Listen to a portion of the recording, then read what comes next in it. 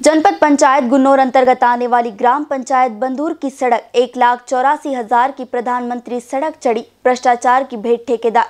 महेश चौरसिया हटा के प्रति ग्राम पंचायत बंदूर प्रतिनिधि सुखदेव सिंह बुंदेला ने विरोध जताते हुए नाराज़गी ज़ाहिर की है।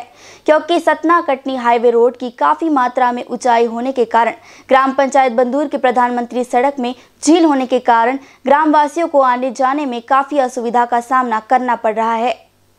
क्योंकि हाईवे रोड से प्रधानमंत्री सड़क ग्राम बंदूर की जुड़नी चाहिए थी, मगर हाईवे रोड से छोड़कर बनाई गई है और नाली का भी निर्माण होना था, जिसमें नाली भी नहीं बनाई गई है। इसलिए ज़िले के जवाबदार अधिकारियों से गुजारिश है कि प्रधानमंत्री डामरीकरण सड़क को हाईवे रोड से जोड़ा जाए और नाली निर्माण करवाई जाए, एवं जाँच कराकर सही तरीके का निर्माण कार्य करवाया जाए, जिससे ग्राम वासियों का शासन प्रशासन पर भरोसा बना रहे। इन न्यूज़ के लिए जनपद पन्ना से कैलाश पांडे की रिपोर्ट।